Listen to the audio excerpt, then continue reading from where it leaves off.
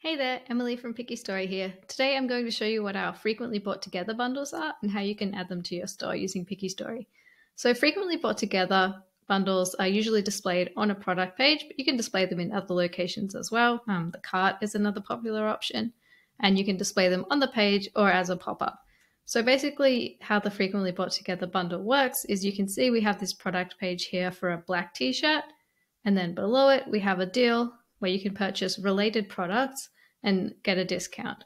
Discounts are optional, so you can also set this up without a discount if you just want to show related or recommended products to your customers.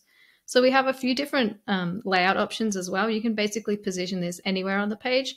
So in this in this example, it's below the main product. Um, we also have a really popular option, which is just below the uh, add to cart button. You can show it there. And then, as I mentioned, you can use a pop-up too.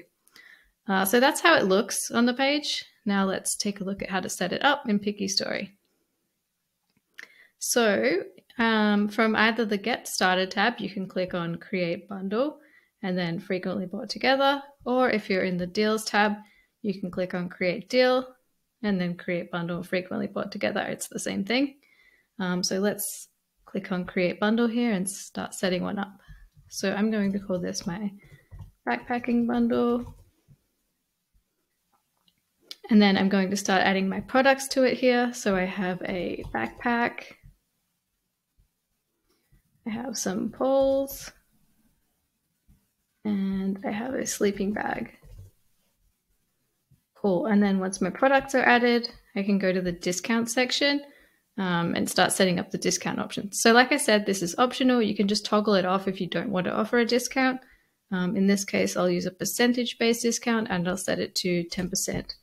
You could also offer a, a buy X, get Y, or BOGO discount. So, for example, we could say buy the backpack and the sleeping bag and get a free set of, of hiking poles. Um, you could offer a fixed amount discount. So, for example, buy all three products and get 20% off. Um, or you could sell the whole thing for a target price. So, um, buy all three products for $400 or whatever the price may be. And then, of course, you can set the minimum number of products so that a customer can't just purchase one of the items and get a discount. Okay, so now we can save those changes and we can decide where to display our bundle. So we can click on using campaign here. And then as you can see, I already have some locations set up for my other deals, but let's create a new one. We'll call it bundle on product pages.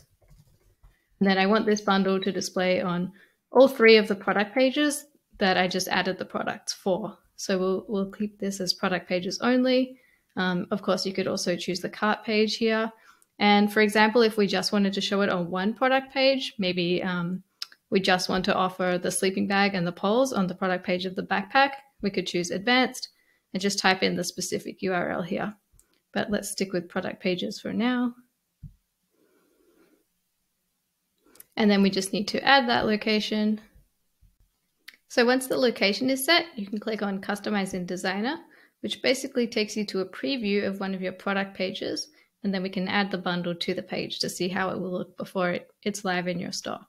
So if you want to use the pop-up, you can just toggle that on here, or if you want to display the bundle as a widget on the page, you can just drag and drop this over, and then when you see a purple line in the area where you want to show the bundle, just drag and drop it like that. Okay, so this is how it looks um, right out of the box. Once you have it positioned um, in an area that you're happy with, you can go to existing and then click here to edit the widget. So for example, you can change the layout from vertical to horizontal. You can change where the add to cart button is. You can choose whether or not these boxes are pre-selected. Um, and you can also, if you want to, hide this product, seeing as it's already being displayed um, on this products page if you like to. And then for full customization options, you can go here where you can change all of the um, button colors, font sizes, um, styling of the widget, uh, layout options, and pretty much everything else that you need. When you're happy with how it looks, you can save changes. And then once you hit publish, the deal will be live in your store.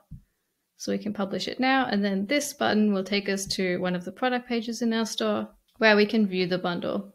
You can see it right here.